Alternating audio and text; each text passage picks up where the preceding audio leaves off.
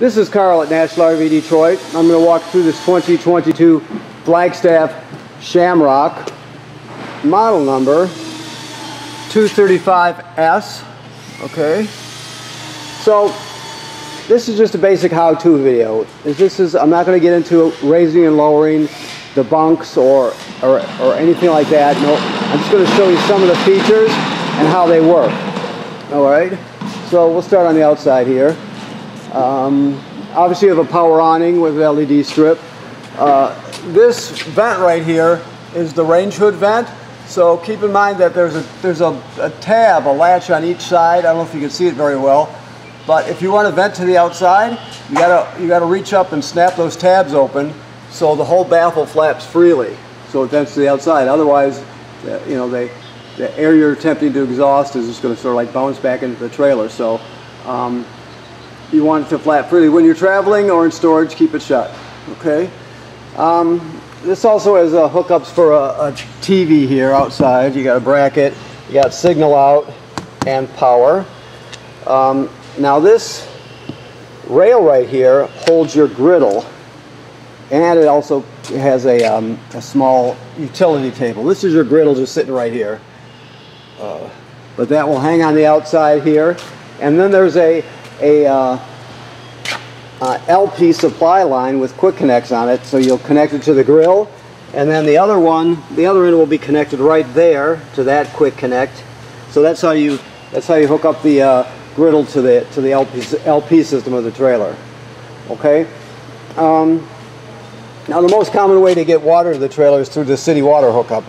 This is if you happen to be camping on a campground or a campsite that doesn't have plumbing, you can um, you can pre-fill this tank right here and then use the onboard pump to pump the water. Um, of course, if you, if you have city water, you don't have to worry about this at all, but you can, if you're going rustic camping, you can still have water and all the plumbing will work just by filling that tank ahead of time.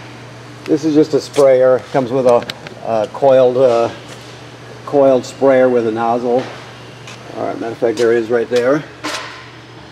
Okay, so you also have a dorm refrigerator. It works on 110 AC, so as soon as you uh, plug in the trailer, it'll turn on.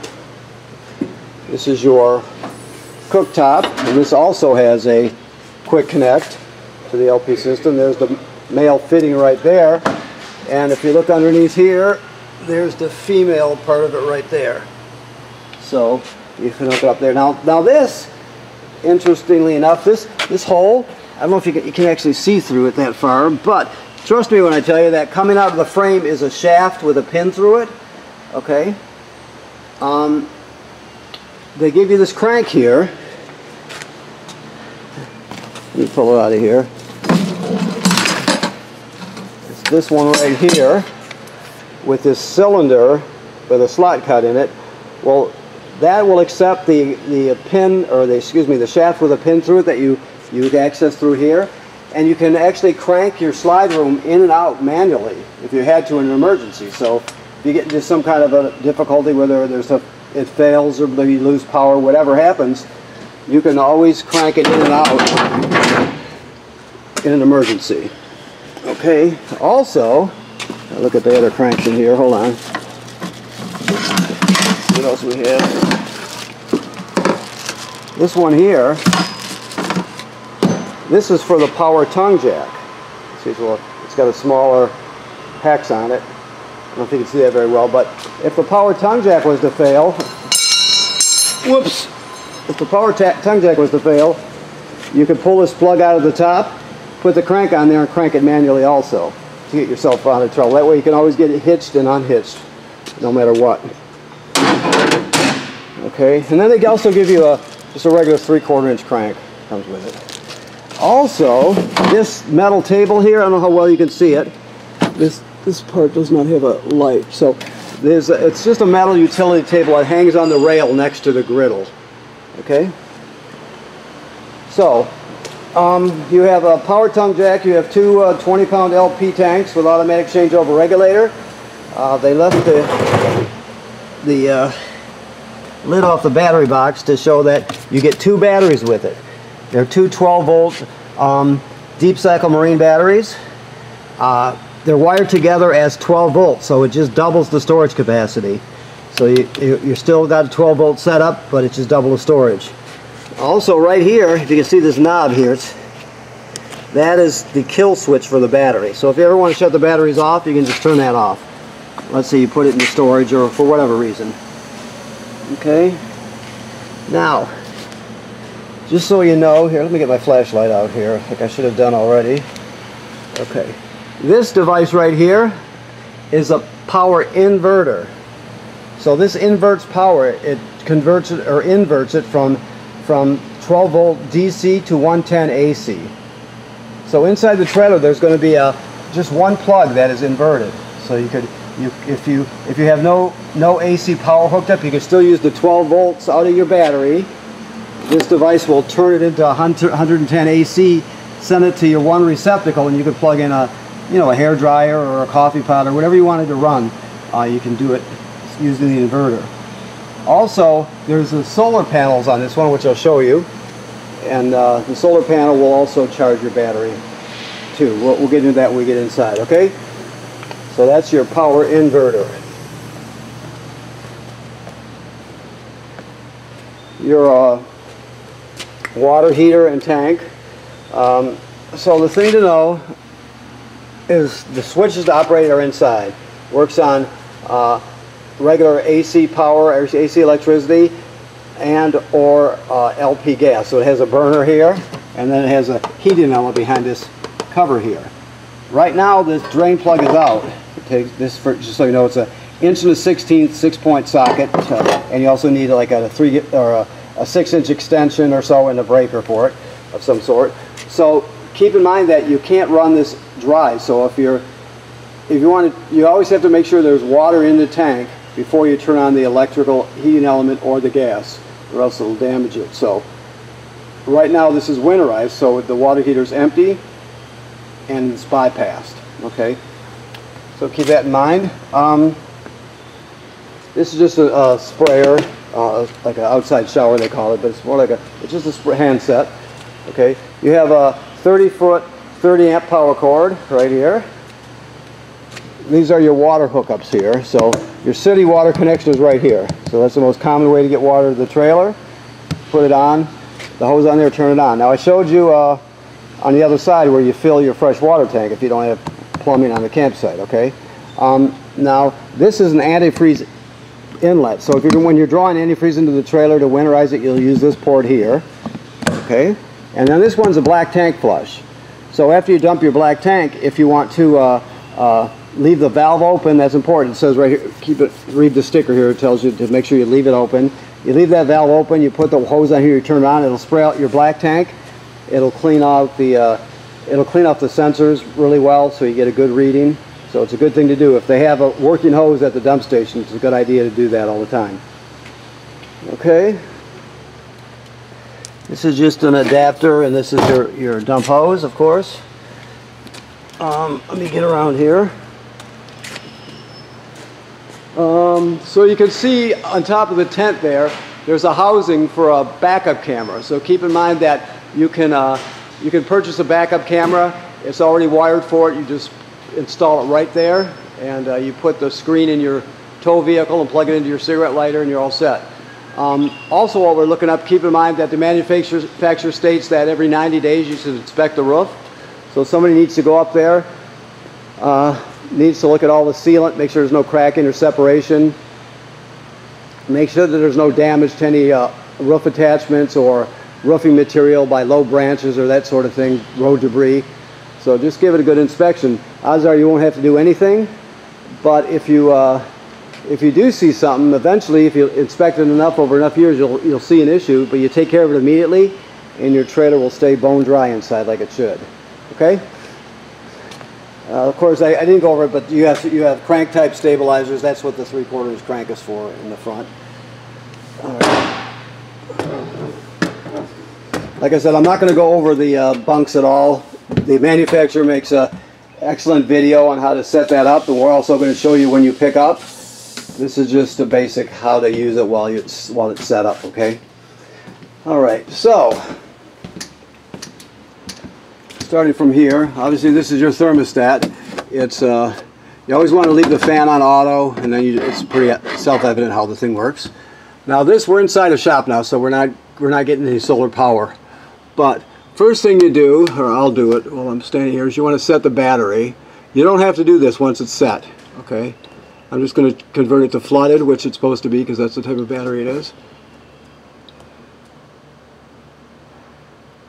Okay, so you don't have to worry about that now, that's set. So right now it's telling us there's 13.2 volts coming from your battery or in your batteries. That's excellent. You don't pay attention to the A button because there's just the two bat although there are two batteries I said they're wired together in one so this this considers it one battery. So you, the B button is what you use it you go through to to uh, this is your this, your the sun. That's a picture of the sun. That's the solar panel right? So right now it's telling us 0.0 amps are being are being converted from the sun into electricity at your solar panel and put into your battery. So you're not gaining anything because we're inside outside in the sun it'll change. You'll see it'll be 4.7 or, or depends on what position the sun is in. Uh, if you're in the shade or in the sun um, that sort of thing. Um, so that's that if you push it again it's telling us that we're 100% charged which is excellent and amp hours. So the amp hours will go up after your solar after you're outside obviously but so I'll just go through it again that tells you how what, it, what we have, 13.2 volts. We're gaining nothing from the sun right now. You have 100% charge and um, one, uh, 612 amp hours. So um, we're in good shape. You also can have an AC boost. You can read a bit about that more. For example, with this with this charge right here, if you if you have a power outage or whatever, you can charge your, or your, phone, your phone needs to be charged, you can charge your phone right here using the solar panel, for example. Okay? it also has Bluetooth, so you can get an app for it. Uh, um, that's up to you, okay? Um, so let's see. So the solar panel, or excuse me, the uh, control panel is right here. Uh, your battery's charged, fresh water is empty, black is empty, gray is empty. Um, uh, your water heater on electric is right here. To light on gas is right there. Remember what I told you about filling the tank before you do that? Your water pump. Uh, and you have tank heaters on your holding tank. So to, turn, to extend your camping season, you turn that on right like that. Um, you have your slide out and your power awning. Never leave the awning out unattended, of course. If you're not going to be at the campsite, roll it in. All your lights here, and then this thing right here. This is the Wi-Fi Ranger. Wi-Fi Ranger is a, is, a, is a signal booster and router for uh, public Wi-Fi. So you can't really see it, but I'll just talk you through it. There's a sticker right here that tells you that Tenton, uh, that's a long ways away, I think it says 7582 is uh, the name of your Wi-Fi Ranger. So if you look at the Wi-Fi and all of, and your family's devices, all your phones and tablets, you'll find that, and that's that's your Wi-Fi Ranger. So you'll put in a password, uh, for each of those so it'll hook up to it automatically right? Then um, if you if you go to the bottom line here the control panel there's a there's an address here you can type it into a browser and it'll take you to the page for your Wi-Fi Ranger. Uh, this is the temporary password change me now looks like 7582 okay? Um, you'll set up your own password for that something everybody knows but basically, your, your phones are all going to hook to this automatically. But when you get to the campground, you'll go to this address and you'll look at, and there'll be a list of everything that the Wi-Fi Ranger sees. You'll pick up the campground Wi-Fi in this instance and uh, hook up to it and you're all set. It really boosts your, your bandwidth really well. It, it gives you a better, a much better, uh, uh, basically it just improves, improves the quality of your Wi-Fi all the way around. It also has a built-in firewall and um, so it can it can turn your weak uh, public Wi-Fi into something stronger. Okay. The, the Wi-Fi Ranger is on the roof, just so you know. It's, it's an antenna type deal. Um, and there's one more thing that this will do. This, this It's a paid function, but if you wanted to get cellular service through it, you can do that. You have to pay, whoever you get your cellular from, you'd have to pay for an extra device, that sort of thing. But you can read about that if you choose to. Um, but most people just use the, the free public Wi-Fi version. Okay, these also have um, apps for them. Okay, um, microwave looks any other microwave. This is uh, your range hood. I told you about opening the uh, baffle on the uh, on the vent on the outside. There's the fan and the light. Okay. The range works like any other RV range. Go. Let me see here. We'll three three burners, uh, three knobs. This is a sparker. You turn it clockwise to spark. This is the oven knob right here. So I don't know if we're turned on here. Let's see. Probably not. Give it a second. I can hear gas. There we go. So no, it'll normally start the first spark, but we've had the tanks on and off. So um, that light's like that. Now to light the oven, the oven has a pilot light all the way at the back, at the bottom. So what you're going to do is you're going to go to the picture of the pilot light with the oven knob. Then you depress it and keep it depressed. Then you're going to start sparking by turning this clockwise till it lights down here. After it lights, you hold it for another 10 seconds or so, and then you can let go of it. You go to operating temperature, and it cycles as an oven does. When you shut it off, the flame goes out, but so does the pilot light. So you have to relight the pilot light each time you use the oven. Um, and always keep this down when you're traveling, this glass top, or it will tend to break if you drive around with it up like that. So, okay, your keys are right here, two sets of keys. your refrigerator is just a, a 12 volt DC refrigerator. So runs on 12 volts. Now I showed you your power inverter up front, right? The power inverter inverts power from 12 volt DC to 110 AC. Well this is the power converter, it does just the opposite. It converts AC to DC power. So let me get it open here. So on this side you have you have circuit breakers like you'd see at home, regular 110 AC, and they're all labeled, right? Then the power is converted to 12 volt DC on this side. And you can see you got 12 volt fuses and they're all labeled. Okay. Now this is also a battery tender so when you're plugged in it'll sense how much energy your batteries need and it'll keep them topped off. Uh, if they're charged it'll just trickle a couple amps up there. If they're low it'll send 10 amps or whatever it needs to keep them charged. So when you're when you're pulling your vehicle down the road your tow vehicle's alternator charges the batteries and when you're plugged in this this power converter charges the batteries. Okay. Now I was talking about the inverter a second ago. So let me walk over here. You only invert power as needed. So you don't just leave it running. Um, so you come over to here. You can see this button right here is the inverter.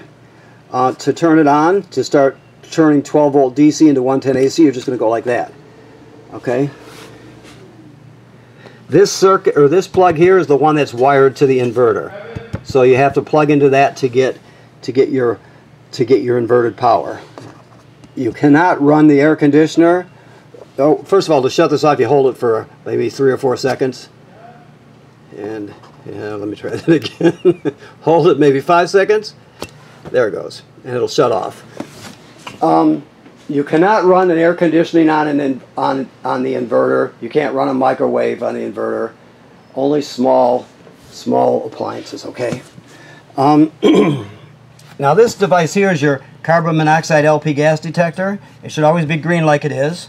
Um, it, it, detects carbon monoxide or LP buildup. Um, if it goes off, you take everybody outside, leave the door open, shut the gas off at the front, figure out what's going on. All right. And if it beeps the same tone but very slowly, it's telling you that your batteries are low. So, so it also tells you low battery. So LP gas uh, is good, test. Carbon monoxide test is good. Now the uh, low battery alarm coming up. And back to green. So there you have it. Okay, so this is a hide-up bed, of course. You just pull the, the cushion, the back cushions off, and you fold this thing out. It turns into a bed. You can also drop this table down by pushing this this yellow little uh, button to the right and it'll unlatch it and it's got hinges on it. You just drop the hinges right onto these cleats here and it turns into a bed. Always travel with this in the down position. Never travel with in the up position because uh, it can bounce around or break something. So you always want it in the you always want it stowed when you're traveling. This is your this this is your uh, tire pressure and and temperature monitor. It still has to be set up. Um, if you use it, you know, it's up to you. But basically, this this is the screen that will go out front in your tow vehicle. and it'll, it'll tell you what the temperature of the hubs are and how much pressure is in it. It also has an audible alarm if you want to set it that way. You can set it a bunch of different ways. So that's what that, just so you know, the sensors are in the wheels, inside the tires actually, on the wheel, opposite the valve stem. So uh, keep in mind that if you're, if you're setting up and you want to, and you're having a hard time getting a reading, you remember to go across from the valve stem right on the, uh, on the wheel itself, inside the tire, okay? Alrighty. Now, I'm, I didn't mention it, but this, there's a, a um, here, let me do that this way. Let me see where he's got the, the remotes at. There's one anyway. Okay. Well, I didn't prep this. The remotes are in here for sure, so I'll just talk you through it. I'll make sure they're here when as we go forward. So you have a space heater, which is a fireplace, and it turns on here. It has a remote. So you can basically set the the fan speed. Um, it's a really good space heater. You can change the the appearance of the flame. You can set the temperature. Also, um, um, like I said, there are different fan speeds. So it's a really good space heater. And the neat thing is that it it works on AC power. So you have a limited supply of LP gas. So if you wanted to use this in the evening or in the, in the morning, whatever, to take the chill out of the trailer, it works really well for that. Um, your sound here, you can play CDs and DVDs right here. You uh, can stream off the USB.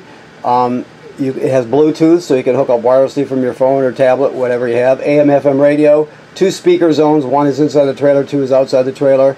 This HDMI is an in.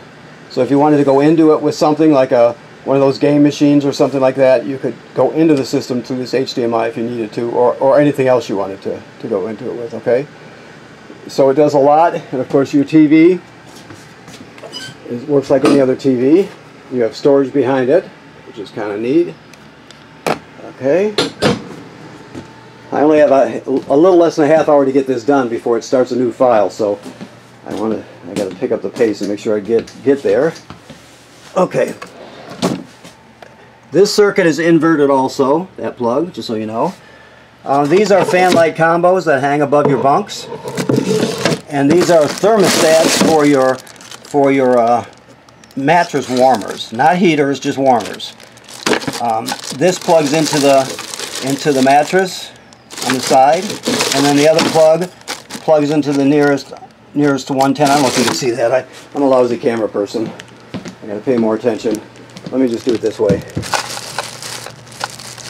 This side will plug into here. Okay. The other regular regular AC plug will plug into the nearest AC and that will be here for that one. Then you can set the temperature on this little analog thermostat. It doesn't get hot. It just takes it just warms it up, takes the chill off of it. So you get two of those, one for each mattress. Okay. I don't know where I am at this point time-wise, so I got to pick it up. So the thing to know here is this this has a a water miser, a shower miser. So what it is is a circulator, a water circulator, and it circulates water between here and or through the water hot water tank and with the water pump. So it goes in a giant loop. Right? The idea is you don't waste water while heating it up. So this is normal operation. So if you want to use the, the water miser, you'll put it in that position, then you turn on your water heater, and as the water's heating up, it just circulates it in a loop. Like I said, from the water tank through the water pump to here and back around. So you know you don't waste any of the water. Normally, if you're at home and you're you're you're heating up your water, for example, it just the cold water just goes down the drain while it's warming up. This this case, it doesn't do that. So if you're in drought areas, you're not wasting water while you're heating it up, and also you don't waste storage in your gray tank because you're not just dumping clean water in there just because it's not the right temperature. So you do this and it'll go around and around and around and then this will turn a beigeish color here. This plastic will turn a beigeish color. That's when you know it's hot. And then you would just go right like that and it works like a regular shower. So it's a water circulator um, and it circulates it in a loop while it heats up. That way you don't waste the water and you don't waste the storage, okay? Now I want to say that all everything I tell you about here, you can go to their websites and they have good, good um, product videos plus the packet which is on the table, I believe. Yes, the packet over there also has literature on it also. All right. Just so you know, this is a GFCI. Every plug in the trailer is wired through this GFCI. Keep that in mind. And the last but not least, the, well not last either, the, the toilet has to have chemical and water in it. Now that's the black tank directly below. That's, that's coming out of there. It's a little bit of antifreeze that has residual pressure. So when you hook up your power and your water at the campsite, then you come in here, you dump a dose of chemical right into the bowl, then you step on the pedal, water will come swirling out. You just hold it long enough to put a gallon or so of water in there. Some people use more, it's up to you. But you have to have water and chemical in that black tank before you start using it.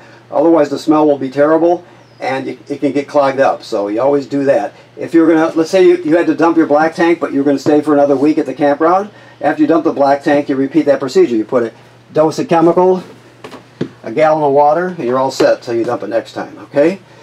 And this would be last year. This is the this is a, a five or four speed four speed fan. Um, it's it's again it's self-evident. This one you have to manually crank the roof up, or the, the sorry the vent or the the vent cover up. You don't have to crank up the roof. All right, and there's another one here.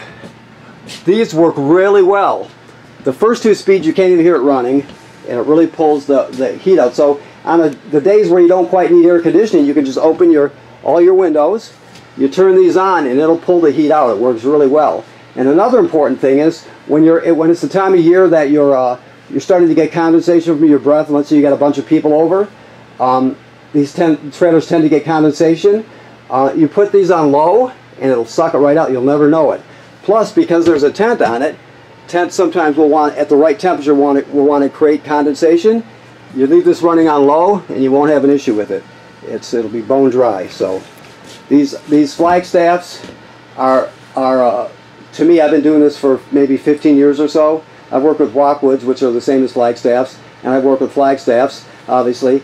And as trailers go, these are probably, in my opinion, the best trailers. And uh, when it comes to hybrids, with you know hybrids meaning the bunks fold down, these are the best ones. Period. So I'm not I'm not a salesperson. I'm just telling you the truth as I see it. So, okay. All right. So I think that covers everything we'll be able to ask us more questions when you come to pick it up and we'll show you through it and like I said go to the manufacturer's videos for the bunks and the rest of it and we'll also teach you that when you come here okay alright so thank you very much for purchasing your trailer at National RV Detroit. Please remember what I said about inspecting the roof and the seals every 90 days. People generally don't inspect their seals enough. That's important to do. Uh, you're just protecting your investment. And that's not this trailer. It's every trailer ever made. And also remember that this is winterized right now. The water heater's empty and there's bypass and there's antifreeze in the system. Okay? Thank you.